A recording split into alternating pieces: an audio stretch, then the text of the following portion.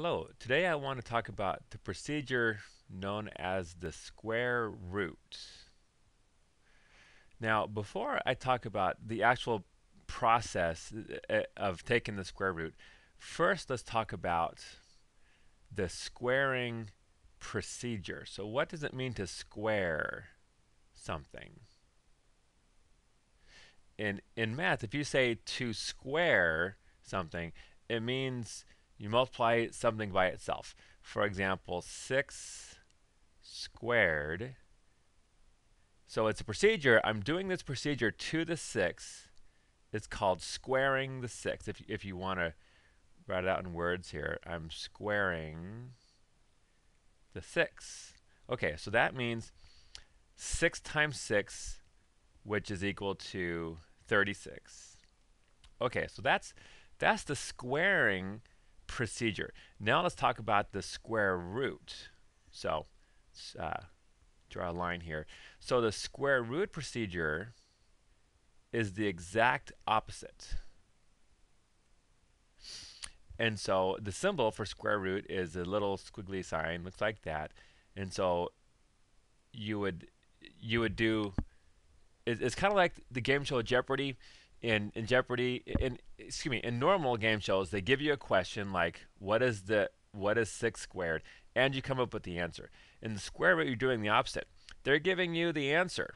They're saying the answer to something squared is 36. What was the original question? So you would say the square root of 36 is 6. And so in words you say the square root the square root of 36 is 6. And so, in other words, you're just asking yourself the question um, one more time, square root of 36. You're asking the question, what, what number, if you square it, gives you 36? So what number squared gives you 36. All right. Uh, let's let's give you one for practice here. So I'm going to give you a question. Uh, square root of 81. So hit hit the pause button. Try to work it out for yourself, and then after a couple minutes, resume the video, and I'll give you the answer. Okay, so hopefully you figured out the answer now. Uh, let me let me tell you, just so you can make sure you did it right. So the square root of 81, I'm asking myself the question, what number squared uh, gives me 81? So in other words, uh, what number times itself gives me 81? Okay, so we know that 9 times 9 equals 81.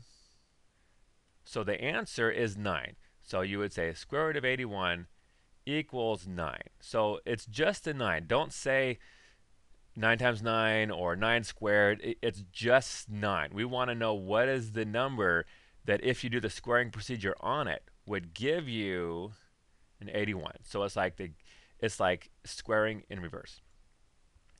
All right, so the examples I gave so far, square root of 36, square root of 81, they worked out really nicely because the answer were, was both whole numbers. But what if you have something like, say, square root of, say, um, square root of 60? Okay, this doesn't have a nice, easy answer. Um, you could, it's the same idea though. What number squared, or what number times itself, what number squared uh, gives you 60?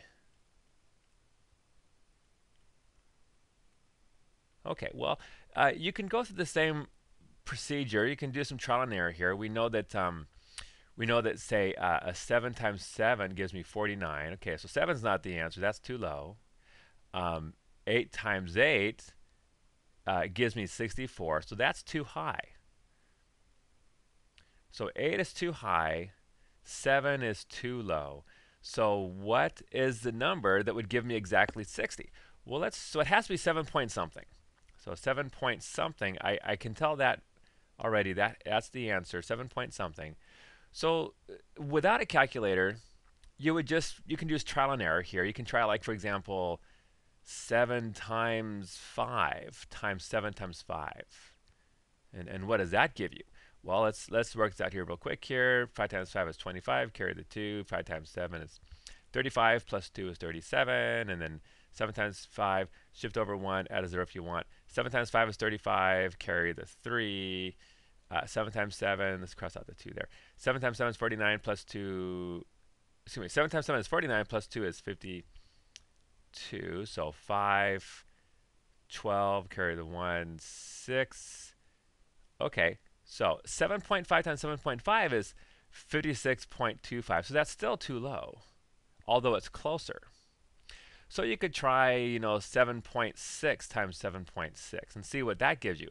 And if that doesn't work, you could try like 7.7 times 7.7 and so on. So you can see that trying to figure out what number times itself is going to give you exactly 60 is going to give you um, a very uh, it's a very time consuming process. So usually for this, we just use a calculator. So um, the computer has a handy calculator here. Let's go to a calculator. Um, most calculators have a square root button. Uh, most most uh, calculators have the actual symbol. Mo most calculators, I'll just draw a little picture. Most calculators, you know, you have your you have your buttons over here, and somewhere you have a button and has a little square root sign on it. So you just type 60, type hit the square root button, and you get the answer. The calculator on this computer here, the square root button is right there. And so you'd have to go 60, hit the square root button, and there it is 7.74596669241, blah, blah, blah, blah, blah. Notice that the numbers just keep going and going and going. The actual true square root of 60 is called an irrational number, meaning the number, the digits just keep going forever. So we just have to round off someplace. So now for the answer, square root of 60 equals, um, let's, let's just type the first few digits here. So 7.74, oops, wrong, wrong, uh, wrong number there. 7.7459, I, I think was the first the first few digits, 7.7459. And then I can go 6666924 if I want to. Okay. And you know, every calculator is going to round off slightly differently. Now, what they give for the answer? Um, it just depends on, on what you want to round off to. It depends on how ac how precise your answer needs to be. So usually three or four digits after the decimal point is usually good enough. How about I'll just cut off right there. So I'll just say 7.746 and, and call it good. So there's the answer. Now that's not exactly the square root of 60. If I actually multiply 7.746 times 7.746, I'm not going to get exactly 60. But I mean, I'm going to get pretty close. Let's go ahead and, and use the calculator here. Let's go ahead and do that calculation here. 7 7.746 times 7.746 equals, you can see 60.000516. So it's really close to 60. So it, at least for three digits of accuracy, this is this is really close to the true square root of 60. Okay, let me give you one more for for practice here. Uh, with with you have to get out a calculator for this um, and uh, give you a couple minutes to to work it out here. So how about um, let's throw in one with a decimal here. How about square root of let's say 47.92 and give give the answer to uh, to three digits after the decimal point. Okay, so take a minute, press the pause button, get out a calculator if you uh, if you don't have one, and uh, and get the answer. And then once you get the answer, then resume the video, and I'll give you the answer. Okay, hopefully you've had a chance to to work this out. So now I'll just get out my calculator here. I'll just use the same calculator as before. Press the clear button. Just type 47.92.